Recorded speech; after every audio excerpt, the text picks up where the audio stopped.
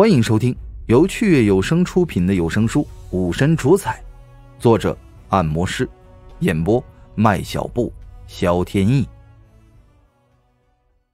第七百九十五集，秦晨微微一笑，跟着侍女上前，两个人一前一后，迅速的来到了顶部楼阁之中。只见楼阁中空，中间有一座高台。而高台的四周则有一个个金碧辉煌的房间，共分为数层，总共也不过是百来个房间，每一间都极具雅气，极为出尘。侍女将秦晨引入到其中一个房间，房间中布置的古色古香的，淡淡的清香萦绕着，且有阵法环绕，极为私密。阁楼一侧可看到外界古风城的场景。登高远望，心旷神怡。另外一侧则对着中央高台，像是看台一般环绕一圈。但是因为阵法的屏蔽，彼此却看不到对面房间的场景，十分的精致。公子请入座。那女子说道，将秦晨引入房间中的椅子上，各种美酒佳肴早就已经摆上了，端地是无比的享受。还请公子享用。若公子需要点单，可在此屏上写下内容，我等自会送来。女子对秦晨微微一笑，而后躬身退出。秦晨环顾着四周，微微一笑，这太古居和三百年前还真是一模一样，几乎是一点都没变。他安然的坐下，感知弥漫向四周的阁楼。这阁楼中遍布阵法，但是又如何能抵挡住秦晨的探知呢？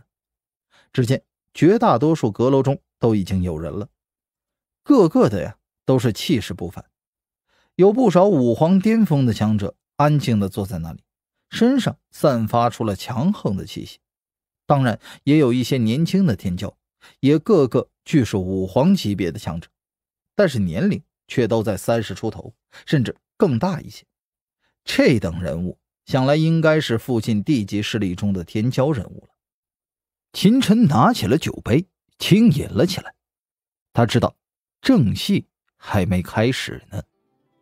唰的一下，这时空间波动一闪，大黑猫突然出现了，眼睛火热的看着面前的酒水，拿起来就是。喵！他喵的，猫爷我在里面当苦行僧，你可是倒好啊，在这里大吃大喝呀你啊喵！大黑猫一边说着，一边将盘子里的东西往嘴里塞着。差点都将盘子塞进去了。这太古居的东西啊，的确是十分美味的，光是各种材料，便是非同一般。大黑猫在古鱼界里哪里吃到这种东西啊？顿时吃得满嘴流油，满座饭菜被他风卷残云一般的吃得一干二净。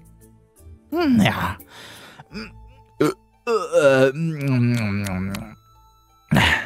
小子，你再多点点啊！喵！大黑猫意犹未尽，不满的说道。就在此刻，阁楼中间的高台上忽然萦绕起了道道烟雾，顿时将所有人的目光都吸引了过去。整片高台之上都开始弥漫着烟雾。秦晨他似乎看不到其他地方了，唯有高台之上，那里出现了一群白衣女子，围在一起。只能看到朦胧的身影，身材却都是十分妖娆的。嗯，秦晨眉头一挑，这一刻，他竟然感觉到全部的注意力都仿佛被牵引到了高台之上，那里仿佛近在咫尺一般。衣角飘动，诸多白衣女子同时动了，翩翩起舞，面带轻纱，刹那间转身，虽然看不到面容，但是那一双双灵动的眼眸。刹那的同时，映入众人的眼帘，竟然让秦晨的心忍不住猛然动了动。一群女子显然都是绝色，各有风姿，环肥燕瘦，而且那双极具魅力的眼睛仿佛盯着他一般。无论秦晨看向哪个人，仿佛对方也同时在看自己，无比的诱人。嗯，娘！我靠！你小子居然在喝花酒啊！你阿喵！大黑猫眼珠子都瞪圆了，手中的酒杯落下，气得胡子都竖起来了。呀！我说啊，不是猫爷，我说你啊，在这古玉界中，几个小妮子为你伤透了心啊，喵！你出来之后第一件事居然是来喝花酒啊，喵！你说你对得起那几个小妮子吗，喵？嗯，喵！你们男人没一个好东西啊，喵！秦晨一口老酒差点没喷出来。什么叫他们男人呢？难道这个大黑猫是个女人？真是的！我来这里自有我的目的，赶紧回去，别影响我办事。秦晨无语道：“喵，怎么被我说穿了？不好意思了，喵。”哎呀，行了行了，你还想不想吃东西了？想吃的话，赶紧回去，我给你多点一些；不想吃就拉倒。喵，你还想贿赂我？啊你你你猫爷，我是那样的人吗？喵！大黑猫很是愤慨的说道：“喵，嗯，记住啊，你可是你说的啊，多点一点啊，里面还有很多人呢。喵，别别只顾着一个人享受。啊喵。”话音落下，大黑猫唰的一下子又消失了，回到了乾坤造化玉蝶之中。秦晨无语啊，很快点了不少的酒菜佳肴。送入到了乾坤造化玉蝶中，倒是让太古居的人呢有些震惊。这个房间里的客人是几天没吃东西了吗？怎么一个人点了十个人的量都不止了呀？当然，太古居的人呢也只是悱恻一下，这点职业素养还是有的。秦晨的目光重新回到了高台之上，只见一群白衣的女子舞蹈越来越性感。随着这群美女的起舞，性感完美的身躯呈现在所有人的面前，翩翩舞动，水蛇般的腰肢扭动着，每一个动作都诱惑到了极致。秦晨甚至能够感觉到四周的阁楼中传来粗重的呼吸之声，每一个人都死死盯着高台之上，而那一双双眼眸轮流着深情地看向每个人，让人血脉喷张。此刻。秦晨眼睛脑海中仿佛只剩下了这一群起舞的姿色身姿，容不下其他的了。体内的血液都沸腾了起来，又有一股可怕的冲动。魔恐，秦晨的脑海中瞬间生出了一个念头来。到了他这个实力，定力何其的强大，哪怕是天生媚体的陈思思都魅惑不了他，更不用说是这些女子了。但是秦晨却知道。他能够轻易抵抗这些媚术，可不代表其他人能抵抗住。恐怕整个场上能完全不受这些女子影响的，也就他一个人罢了。这些女子显然个个都修行了极具魅惑力的魔功，每一个动作都撩动人心，让人生出冲动。三百年前，太古居虽然也有美食美女陪伴，可是根本没有修炼魅功的魔功。看来三百年过去了，太古居也与时俱进了呀。不过这样也好，这些女子应该知道的消息也更多。陪食不仅仅是陪客人吃饭，他们的消息也是最灵通的。只要叫了一位陪食，便能从他口中询问到各种东西。若问消息灵通的程度嘛，这些美女啊，恐怕不比古华城的三大家族要弱多少。果然，一曲毕。一位身材窈窕的熟女便走了出来，来到了高台之上。诸位，舞蹈欣赏完了，接下来便是我们的拍卖了。只要诸位看上了咱们太古居的任何一位美人，都可以出价，出价最高者便可以得到美人的陪食。到时候红袖添香，美人相伴，这可是人生一大幸事。诸位能来到这里的，都是盖世天骄。英雄豪杰，英雄当然需要美人陪伴，岂能一人独饮？不知哪位英雄想要出嫁的？女子话音刚落，秦晨便喊了起来：“哪位美女是头石？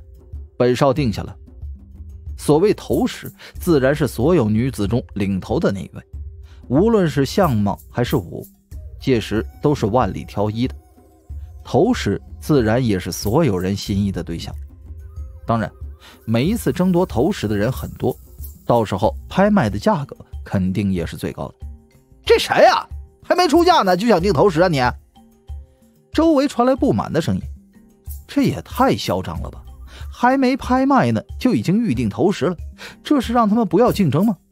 哎，似乎是哪个轩辕帝国的天才啊！十六溪闯过了太古通道那个，哎，声音好像还真有点像啊！哼，这人也太嚣张了，以为我古华城无人吗？莫留心不满说道，挑动别人的情绪。这位公子，我们这里可没有投石一说。当然，姑娘们色艺自然会有高低，需要公子自己张验哦。高台上那位风雨女子轻笑道。那我就要这一位。秦晨一抬手，嗡的一下，一股无形的力量弥漫出去，瞬间落在了一个女子的身上，将她的脸上的面纱给摘了下来。白色面纱像是一条飞链，迅速的进入到秦晨所在的楼阁。隔空取物，秦晨露了这一手，顿时惹来一些人的惊呼。利用真元摄取远处的东西，只要是五皇强者，无人不能做到。但是。在这太古居之中，遍布阵法，想要凌空摄取别人脸上的面纱，而且不伤到别人，更没有多少真元泄露，这等手段可不是随随便便能够做到的。要做到这一手，无一不是对真元掌握以真化境之人才能做到。此人果然可怕，轩辕帝国的天才就这么强啊！秦晨这一手立即镇住了不少人，但是很快的，众人。又被高台上的女子给吸引了过去。只见这女子只有十七八岁，穿着着白色的冰蚕丝纱衣，身材修长，粉面桃腮的，朱唇晶莹，绝对是一位万里挑一的美人。特别是她身上有一股清纯的气质，让人一眼就为之心动，无法挪开。哇，果然是柔物啊！众人无不暗叹一声。太古居的女子在出嫁之前本就要摘下面纱，秦晨这么一出手，其他女子自然也都纷纷的将面纱褪下，顿时如百花齐放，云选人也，个个的都惊艳绝伦，美艳不可方物。秦晨先前选中的女子中，虽然在艳丽上与其他人不分上下，各有千秋，可惜她身上却是独有一种清纯气质。立即令他在众人中脱颖而出，更显耀眼。哎，那小子眼光倒是不错啊！不少人惊讶，没想到秦晨在众人之中竟然一下子选中了这一次的头饰，这种眼光不可谓不老了。嘿嘿，看来那轩辕帝国天才也是个花中老手啊，否则岂能一下子从百花丛中选中花王所在啊？有人嗤笑道。显然极为不屑。好了，还请诸位为自己看中之人出价。高台上，风云女子笑道：“哪位姑娘我要了？我出三百万中品真石。”有人看中头石，直接开价三百万。我出四百万。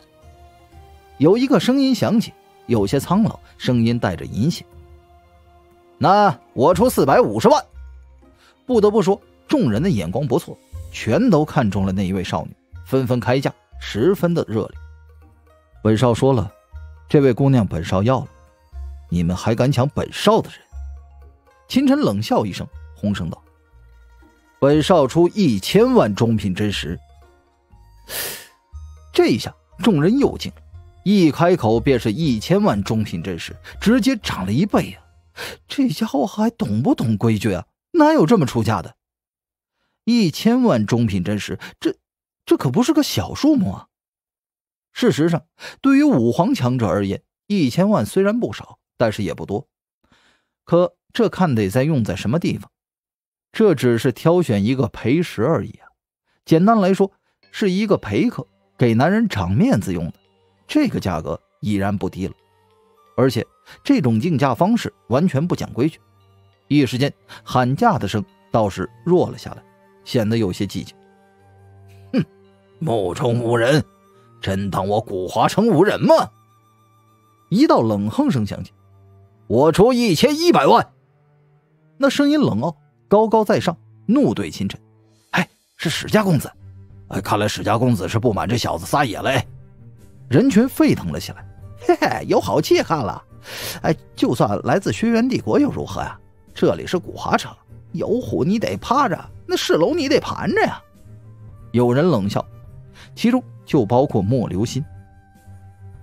哼，一千一百万吗？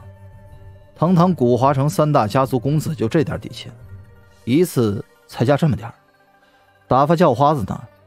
秦晨嗤笑道：“传闻就是这史家欲要和缥缈宫勾结，秦晨哪里还会给面子？我出两千万。”他开口十分的豪爽，直接加了一千万。没办法，秦晨是太有钱了，在古玉界中得到的宝物数不胜数。别说史家公子了，就算是史家老祖前来，论财力也完全不能和秦晨相比。